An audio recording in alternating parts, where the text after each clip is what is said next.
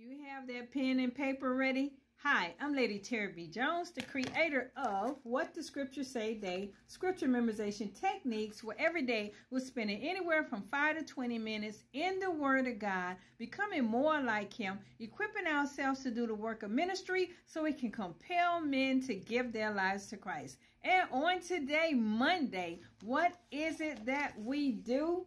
We write it. As we are memorizing Psalms 23, verses 1 through 6, three times one for the Father, one for the Son, one for the Holy Ghost.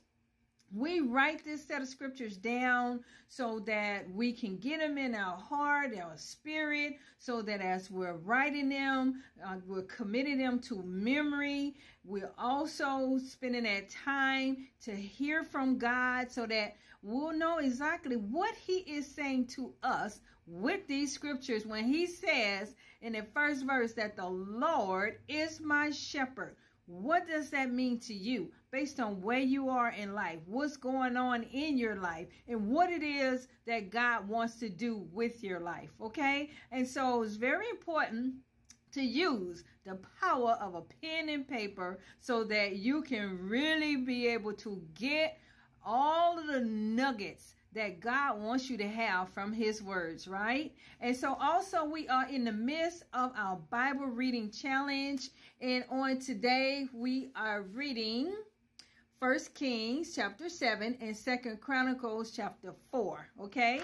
And let me switch over to the Bible trivia question for today, which is Second Chronicles 4 and 11 says, And Hiram finished the work that he was to make for King who?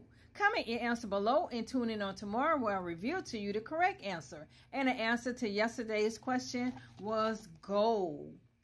So if you do not have the scripture memorization guide or the Bible reading challenge calendar, just click on the link below above, wherever you see the link, right? So that I can get it to your inbox and you can join the rest of us around the globe that are memorizing scriptures, that are committing uh, 5 to 20 minutes of time, you know, with your Lord and your Savior so that you can become more like him and just please your daddy. Don't you want to please? Father's Day coming up, right? Want to please our daddy. Even if you don't know your earthly father, definitely get to know your heavenly father, right? But in the meantime, Give someone a hug, show someone a smile, and let someone know that Jesus loves them and you do too. Make sure you like, subscribe, and comment.